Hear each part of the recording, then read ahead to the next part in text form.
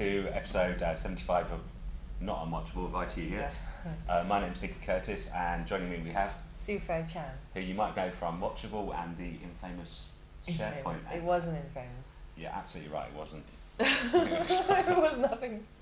So yeah, back in front of the camera, and um, yeah, I do apologise about that, but there's no one else we can put in at short notice. And um, what we thought we'd have a look at today is Exchange 2010. So Exchange 2010, we've done a well, we've done quite a few Exchange ones before. We've done 2003, 2007, but we haven't looked at 2010. So we thought this would be a good way of introducing Exchange 2010 To me. to Sufe, and as without without taking the mick out of her all episode because it'd be a bit tiresome. Um, Sufe, you don't actually do Exchange, do you? No. No, you're I just an nothing about it. just an exchange user as such. And really your skill set is sort of on the SQL development, SharePoint. SharePoint. But you do write applications that communicate with Exchange. don't you? Yes, I do. Cool, so that could be a future episode. Yes. So anyway, Exchange 2010, um, I, I'm not actually in the Exchange 20 team either, um, and I often look at the Exchange 2010 people and think, what the hell do you do? Or what does the Exchange consultant be? So our job today is really to introduce what an Exchange um, consultant might do, nothing, and um, see if we can get Sufe up to their level, which will be easy. So um, before we make a start, here's just a little agenda, Exchange 2007, so we're going to just recap on some of the roles on that. Did you come on any of my 2007 No. courses? None at all? No. Okay, so a little bit of re- review, and if you've done 2007, yeah, this is a repeat, but 2010 hasn't changed a great deal, so um, don't apologise for that. Then we'll look at Exchange 2010, what's changed, and then we'll finish off this episode with just an install, Okay. which Sounds is so easy. Um, afterwards, uh, uh, It's all going to go pear shaped, you know that. Because you keep saying it's so easy. this is true, but we're only we're only planned to do just a bog, uh, a bog standard single server installation. And what we will do later on is look at uh, upgrading and transitioning from Exchange 2003 or 2007 or whatever you guys want us to do.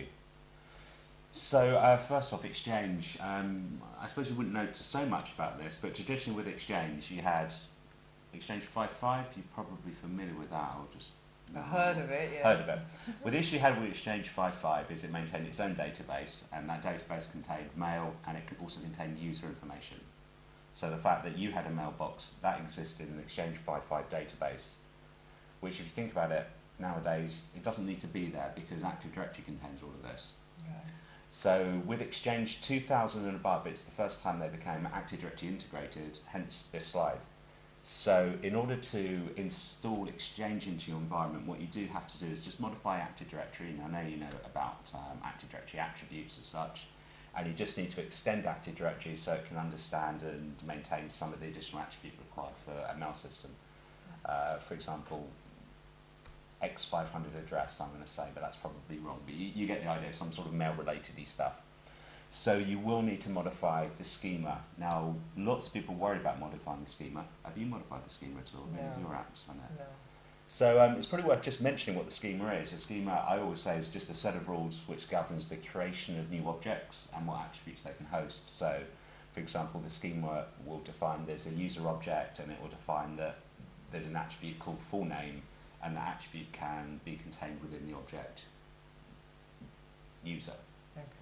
So what, what will happen with the schema is it's going to modify that to define a few more attributes. Now, the thing that people get scared about is when you do modify the schema, it is a forest-wide modification, so this is something that's going to affect all of your domain controllers. So you need to make sure prior to the installation of Exchange, even if you've got Exchange 2007, you do need to extend it a bit more. You do need to make sure you've backed up Exchange, uh, backed up Active Directory. So you are listening. so you need to, Trying need to to back learn. it up. Um, in practice, have I ever seen any problems with this? I, I've never seen any problems with this. I've never seen any. How do you extend the schema? That's part of an Exchange install, or do you have to specially do something? It's part of an Exchange install, so the person installing Exchange when they're on setup, if that person's a schema administrator, it will actually go ahead and modify the schema. Oh, okay, well then, that's easy then. It, it, exactly, it's a click.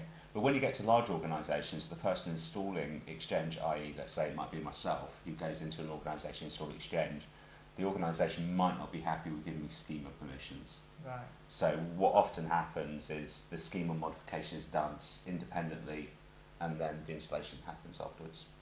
So you can do it bit by bit. And if it goes wrong, you've got someone else to blame. So that's integration with AD. So it's going to modify the schema. We only need to do that once. Excuse me. That's your lunch. Um, in the configuration containers, do you know about the partitions on Exchange No. in, in Active Directory? Okay, in Active Directory, you've got three main partitions. You've got the schema one, that's replicated to every domain controller in the, in the forest. Okay. You've got the configuration one, that's replicated to every domain controller in the forest.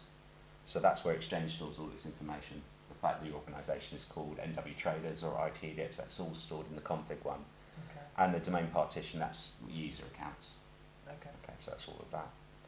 And uh, I'll chat about the global catalog at some other point. Right. Now, just like every other Active Directory application or any other Microsoft application, SharePoint, I'm sure, is the same.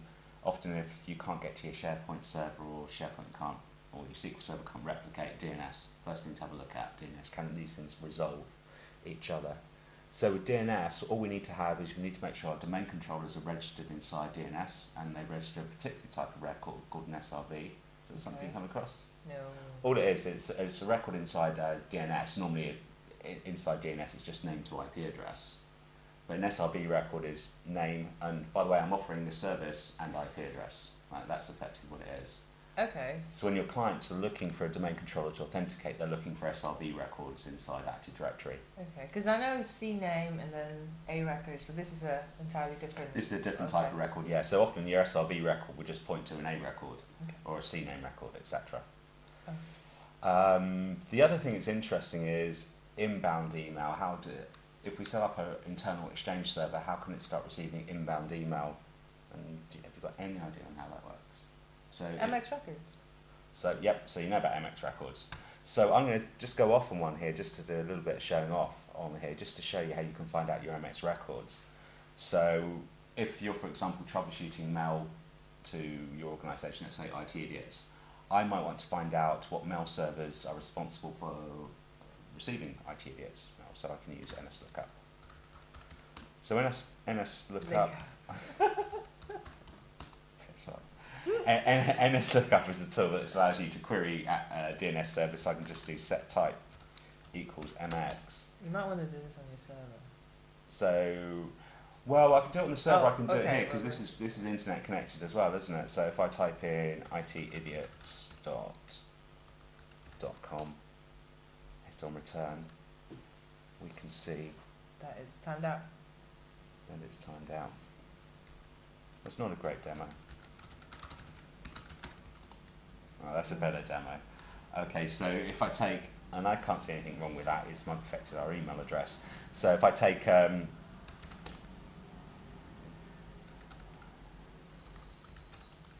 I'll give you a point to edit this.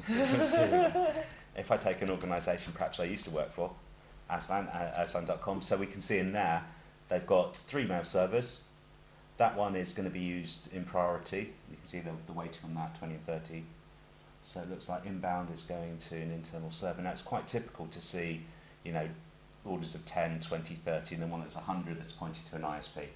But you're nodding, so this is obviously something you, you know. I've come across it Come across it. before. So that's the only thing you need really. If you're going to host an internal exchange server, you need an MX record that's pointing inside. Otherwise, you're never going to receive these, this email.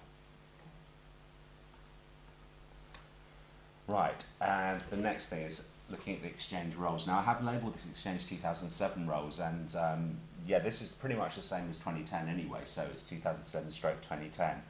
And this is one of the major differences you have between Exchange 5.5 and Exchange 2007 was the concept of all these roles.